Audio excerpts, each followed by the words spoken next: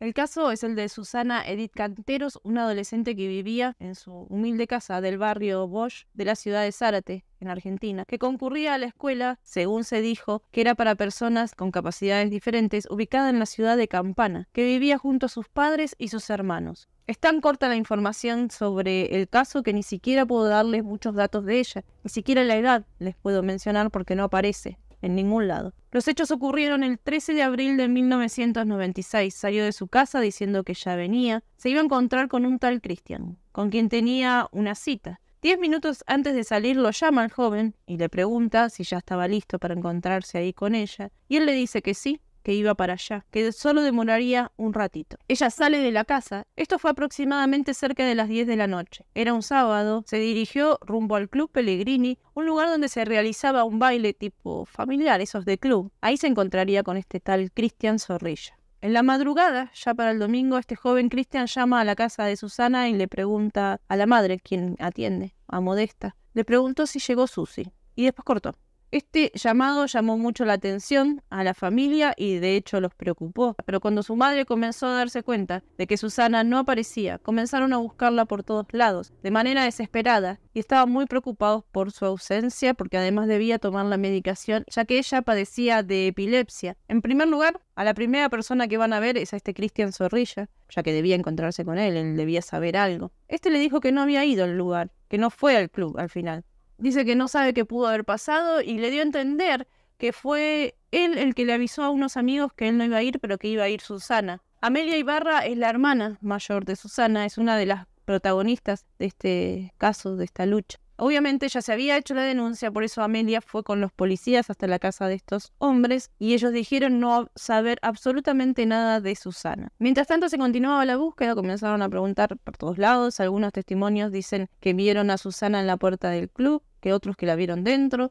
También dice que la vieron en un kiosco donde pidió agua para tomar las pastillas que le ayudaban a evitar las convulsiones epilépticas. Cuando se realizaba la búsqueda durante el domingo y lunes no supieron nada, hasta que el martes 16 el canal de cable Teledelta, canal local, recibe una llamada anónima diciendo que habían encontrado un cuerpo escondido entre las maldezas de un baldío en las esquinas de Julio Acosta y Sargento Cabral, a cuatro cuadras del club donde había ido Susana. Lamentablemente se encuentra el cuerpo de Susana, que aparentemente había recibido muchos golpes y tenía varios cortes en sus zonas íntimas. En las primeras horas del día miércoles 17 de abril, el pueblo de Zárate se encontraba completamente conmocionado. Y ya vengo tía, dice, ya vengo mami, dice, me voy a ir junto a Cristian. Con, Cristian, Ella se dio una cita con un chico y ese chico, la, incluso 10 minutos antes de salir de la casa, ella volvió a llamarlo por teléfono y le dijo, ¿vas para allá? Sí, dijo, voy para allá. 22 de abril un testigo dijo que Susana se había subido a un auto rojo, por lo que se buscó a quienes tuvieran un auto como ese cerca de la zona el juez de menores, quien suplantaba a la jueza de ese momento, Andreini, ordena detener a cuatro sospechosos por la participación en el hecho, luego de allanar una vivienda en la calle Galicia, donde se encuentran dos autos. Las cuatro personas detenidas son Guillermo Pasalache, Miguel Ángel Patini, Hilda Patricia Molina y Pablo Adrián Romero, los cuales permanecen detenidos durante 12 días hasta que la jueza Andreini, cuando regresa de su licencia, los deja en libertad, el 3 de mayo por falta de méritos, aunque continúan imputados en la causa. Pero después se comprobó que los detenidos tenían un auto rojo, pero que era viejo, era un Peugeot, pero al parecer el auto en el que habían visto supuestamente a Susana sería mucho más nuevo y de otra marca. Ahí se realiza la primera de muchas marchas del silencio pidiendo justicia por lo que le había pasado a Susana. Los estudios en el cuerpo dicen que la víctima presentaba huellas de trompadas, arañazos en el rostro, fractura maxilar, lesiones en todo el cuerpo, heridas hechas con objetos cortantes en la zona íntima, esfínteres destruidos, hematomas en las rodillas que harían pensar que fue arrastrada sin vida, tomada por las piernas. También se aclara que el cuerpo fue minuciosamente lavado, obviamente para borrar cualquier rastro o pista. Según el informe forense, el deceso se había producido 48 horas antes del hallazgo, es decir, durante el domingo 14 y la madrugada del lunes 15. También se concluye que del hecho habrían participado más de dos personas. También se pudo determinar que el cuerpo había sido guardado en frío antes de ser llevado al lugar donde lo encontraron, porque también encontraron rastros de tierra y vegetación de otro lugar. Pero como solemos ver en varios de los casos, los rastros que quedaron debajo de las uñas de Susana se envían a La Plata para ser periciadas. Pero como el frasco iba sin lacrar, los peritos no pueden actuar porque de esta manera no hay garantía de que se conserven los vestigios Es decir, que no servía de nada lo que pudieran encontrar debajo de las uñas. Aunque en realidad todos sabemos que el análisis lo podían hacer igual, pero no serviría de nada la prueba. Simplemente para saber quién fue quizás. Siempre que esto sucede, en algún caso comienzan a hablar o a decirse que hay personas de poder, o chanchos gordos como se suele decir, metidos en el medio. La hermana de Susana Amelia Ibarra contó que la tía de uno de los imputados que les mencioné, Pasalache, se había acercado a su casa para contarle lo que comentaban en su entorno. Ella trabajaba para el equipo de acción social de un partido político que gobernaba en esos años, el peronismo. Ahí se sabía que los autores del hecho habrían sido, según lo que le cuenta esta mujer, el hijo de Oscar Moreno, el intendente en ese momento, el hijo del pediatra, el doctor Insauti, el hijo de Vitucho, apodado así como era conocido, un vendedor de automóviles de la zona, de apellido García. En ese momento Amelia Ibarra no le creyó, por lo que no hizo eco a la denuncia que le daba esta mujer. Al ver con el tiempo que las investigaciones no se dirigían en ningún lado, al ver cosas raras, eh, comenzó a creerle. Casi dos años después, la tía de Pasalache, quien le había dado esta información, lo desmentiría todo ante un careo judicial con la hermana de Susana. Esta mujer que le dio esta información a esta altura ya formaba parte de un equipo de acción social del gobierno nacional. Por supuesto, la familia ya no confiaba en la investigación policial, aumentan las dudas, las sospechas de la participación de poderosos en el encubrimiento. Amelia intentó conseguir patrocinio jurídico de la misma municipalidad, donde le dicen que no pueden hacer nada. Ante el desamparo jurídico, intenta hacer su propia investigación. Ya para julio estaba la quinta marcha del silencio, más o menos solamente 15 personas acompañaron a la familia. Y solo habían pasado tres meses. Y debido a que la familia no tenía recursos, un ex concejal se hace cargo a Donoren de patrocinar a la familia. Un mes después se abre una causa contra funcionarios públicos por la pérdida de elementos vitales de la investigación, otra de las cosas que siempre solemos ver que sucede en este tipo de causas y sobre todo en muchos casos que vimos en Argentina suele pasar que se pierden. El 7 de septiembre sucede algo también en el pueblo que llamó mucho la atención o que revolucionó bastante todo. Dos jóvenes que aparentemente jugaban, uno se llamaba Víctor Giusti, se le habría escapado un disparo que se introdujo en el cráneo de su amigo, David Galván de 18 años. Galván fallece luego de cinco días de agonía. Justi, el que disparó, queda libre en menos de 12 horas del hecho, porque para la justicia era un accidente. Ahora, ¿quiénes eran estos dos y qué relación tenían en el caso de Susana? Estos dos jóvenes, según se supo después en la declaración del juicio de los tíos de uno de ellos, del que falleció, eran dos chicos que habían visto esa noche a los acusados, a estos hijos de poderosos, en un auto con Susana ese día. El chico que falleció quería hablar y decir lo que había visto. El otro chico no. Discutían mucho tiempo por esto. Dice que discutían continuamente, porque uno quería hablar y porque el otro no quería saber nada. El que falleció fue el que quería hablar. Por eso la madre de este joven decía que a su hijo le quitaron la vida, por querer hablar y por querer decir que los imputados eran esos que se habían dado en ese momento, los hijos de estos tres poderosos. Igualmente, luego de las declaraciones de los tíos de este chico, estos tres sujetos, los hijos de poderosos, quedan imputados y procesados en la causa. En 1997 la causa pasa a manos de la prefectura naval de la zona delta, donde no se produce ningún avance significativo, pero allí se investiga acerca de una serie de irregularidades cometidas durante la primera investigación de la comisaría de Zárate, donde se perdieron esos elementos vitales para la causa, como la totalidad de la ropa de Susana, ni más ni menos, la que llevaba ese día. Ahora sí, en un programa radial, la hermana y la madre de Susana por primera vez hablan a los medios locales y acusan directamente al intendente y a todo su entorno de encubridores, y mencionan a los tres sujetos que dice que estuvieron con Susana ese día. Debido a esto, el conductor del programa, que se llamaba Correa, inmediatamente es despedido de la radio, también del diario donde trabajaba,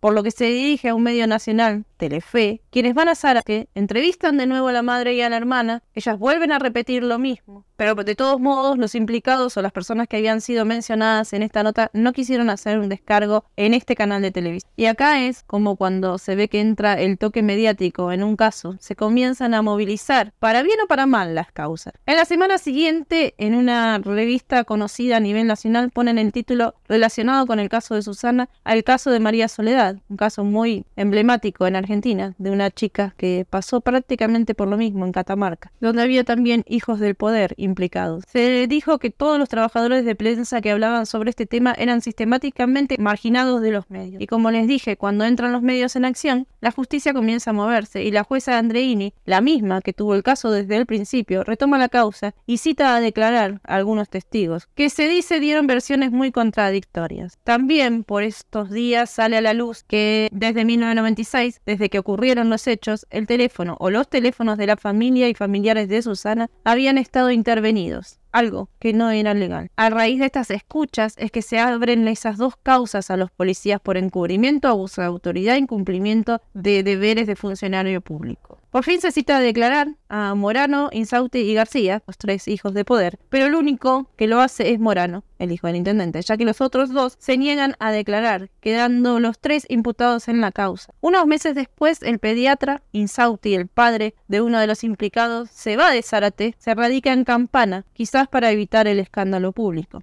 En 1998, en marzo, con total impunidad, se, cumplía un aniversario más de la ciudad de Zárate. El hijo del intendente estaba al lado en el palco junto a su padre, cuando la familia de Susana se encontraba debajo, con carteles pidiendo justicia. Sobre esto, el intendente dijo que la hermana de Susana estaba haciendo esto para conspirar con sectores políticos de la oposición que todo era política. Se decía que el periodismo local estaba encubriendo al gobierno, por eso protegía y no investigaba nada, hasta que apareció un periódico, La Posta, que de hecho es este informe, estoy mostrándoles a ustedes, pertenece a ese periódico. Entrevista a los abogados de Morano y a la familia de Cantero y varios protagonistas de la causa, por lo que de inmediato este diario es mencionado como algo indeseable para el gobierno, porque claramente no le convenían las cosas que aparecían ahí. Una causa con más de 10 cuerpos, se realizaron decenas de marchas de silencio, más de 50 testigos, más de 30 audiencias y se estableció en su momento una recompensa para todo aquel que diera información sobre el caso, que se le protegería de cualquier cosa que pudiera pasarles. Pero ¿quién iba a querer testificar si se decía que los implicados estaban en política, que eran los hijos de los poderosos y que además ya los tenían ahí? Obviamente nadie declara. La esposa del intendente también en un momento que participaba de política, porque prácticamente todo el mundo participa de política ahí, da una entrevista a la posta, al diario, diciendo que su hijo Gabriel Morano fue utilizado para arruinar la imagen política de su ex marido y al intendente de época. Dice que su hijo está muy mal, que le arruinaron la vida. Quien para el momento era presidente de la juventud peronista del lugar, partido político que gobernó durante años. Amelia, la hermana de Susana, dice, hablando de la ex mujer del intendente, dice que ella gestionó la libertad inmediata de Justi, Justi el que le disparó al otro joven, que era el que había visto. Y todo esto hizo que se considerara una muerte accidental. En 1999, el abogado de Gabriel Morano, hijo del intendente, le pide a la jueza que ordene a los medios que traten el caso con más responsabilidad. Meses antes se presentó un escrito donde el intendente y el hijo de Gabriel querellan por calumnias e injurias a la hermana de Susana. Luego de un año de conciliación donde el intendente dice que se presentó con sus dos hijos, más personal que trabajaba ahí en la intendencia, y cuando salen la hermana, la madre de Susana le grita algo al intendente que se ve que no le gustó y este le dijo, ¿por qué no cuidó a su hija antes? El intendente en 1999 consigue la reelección, por lo que la querella contra Amelia Ibarra queda olvidada y sin resolución, porque él lo que necesitaba era, era ser reelegido intendente y lo consiguió. Elías Morales es el padre de María Soledad. En la última marcha del silencio que se realizó junto a otras tantas de las familias que padecen de la justicia argentina, dijo, en la Argentina solo hay dos tipos de jueces, los que tienen presión y los que tienen miedo. También ratifica sus denuncias de convivencia hacia los medios periodísticos, no solo a nivel local, sino a nivel nacional, por la poca difusión que se les da a este tipo de crimen. Impunes, donde están involucrados sectores del poder. Me llama mucho la atención que sobre este joven Cristian Zorrilla, que era el que se iba a encontrar, no se diga nada, no hay información alguna sobre él, si declaró o no declaró, todo quedó en que él no dijo nada, obviamente porque después se creyó en los demás, pero también podría averiguarse si él no ofició como quizás un entregador o qué pasó, que si él no concurrió dejó a Susana en manos de estos tres jóvenes. El tiempo, como siempre, empolvó las hojas del caso de Susana y la causa se fue quedando en nada, como siempre, y sin ningún detenido. Y el 14 de junio del 2011, la jueza de garantías Gabriela Sioni resuelve la extinción del expediente y cerrar la causa. Es decir, es cerrada porque prescribió.